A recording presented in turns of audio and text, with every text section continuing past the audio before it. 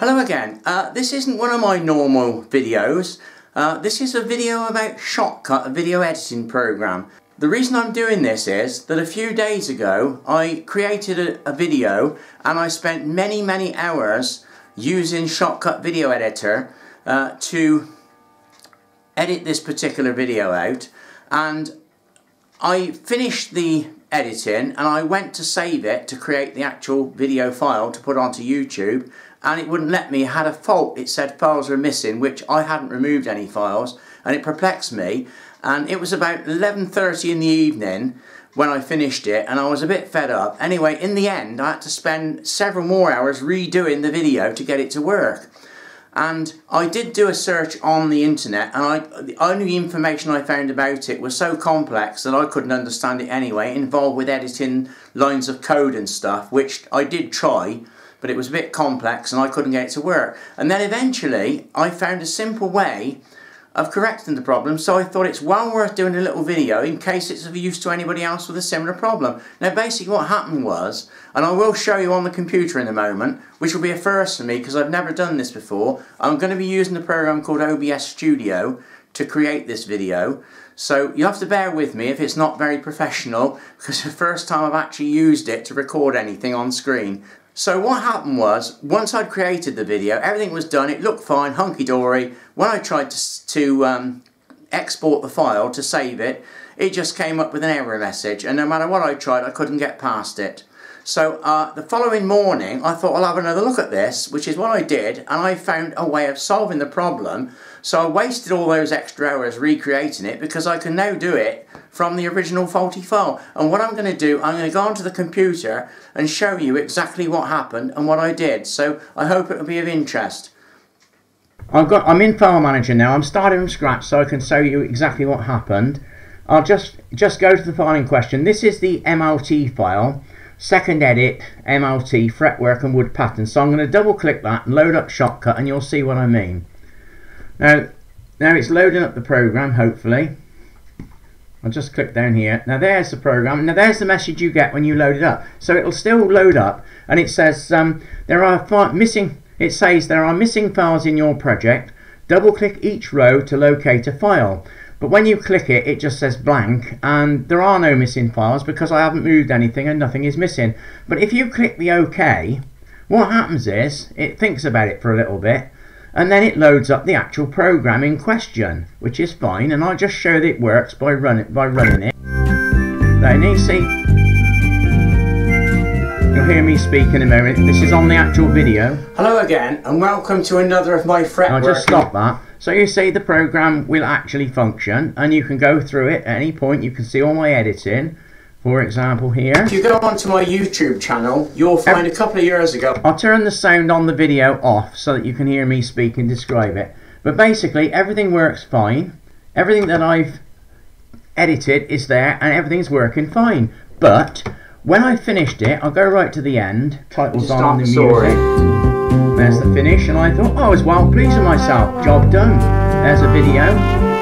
Cross talk, video, camera, short, Shotcut edit, everything's there, and I thought, great, finished.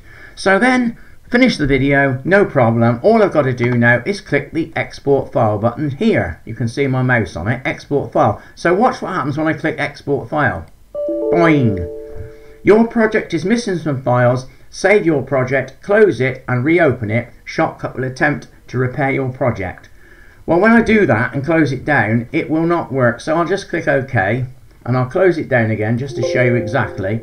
The projects have been modified. I'll click yes just in case. So I load the thing up in Shotcut again. And there you are exactly the same screen. Blank missing whatever. Files are missing. Double click through. So I'm back where I started. So I click OK. And again it will load up. There you go. Now it loads up. I'm no expert on this so, so I say please bear with me. And somebody out there watching this who knows will probably say what a waste of time but the point is this I found by accident a way of solving the problem and I'm going to show you now and it's quite simple. I went through the video that I'd created carefully looking at it and somewhere along here I think it's just there but you can't see it because it's got there what I'm going to do, I'm going to hit the zoom bar button here so I can zoom in so you can see a bit clearer. Now, if you look closely around the middle of the screen here, round here, there's a tiny little transition. Now, I didn't put that in. Now, either Shotcut put it in or my mouse slipped when I was doing it, I didn't notice. Now, if I move slowly through the thing, watch what happens.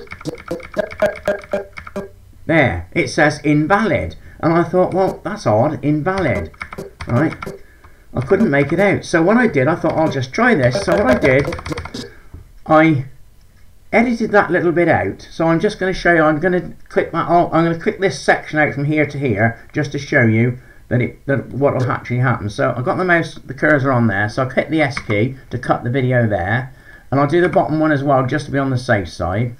Okay, I think I've done that. Right, so I've got the little bit with the faulty bit there, look and this bit here and what I'm going to do I'm going to cut this whole section out by pressing the X key hopefully. Right it's gone now. So that bit's gone. Now what I'm going to do I'm going to save the file but I'll call it something else to be on the safe side. So we'll create and we'll just call it uh, save as uh, I'll call it OB because I'm on OB Studio doing it just to be on the safe side. So I'll save that. Okay so that's now saved. Now what I'm going to do I'm going to close Shotcut down. That's gone now there's the file that I've just created, fretwork wooden pattern, second edit obit, and we'll load it up.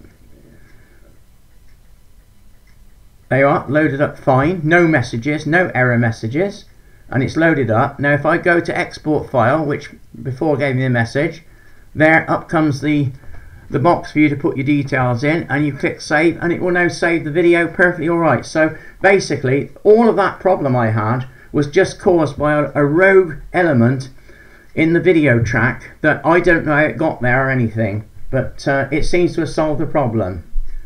So hopefully this may be of interest to somebody else who's got a similar problem with Shotcut.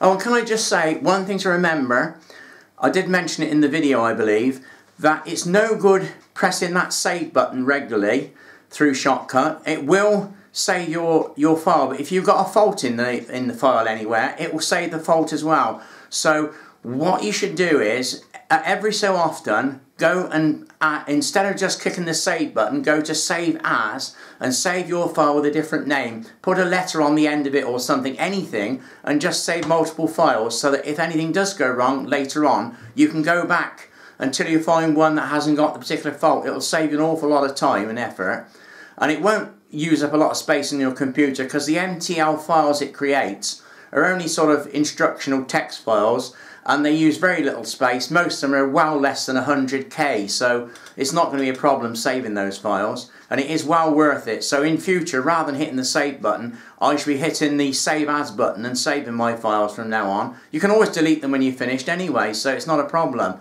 Bye for now.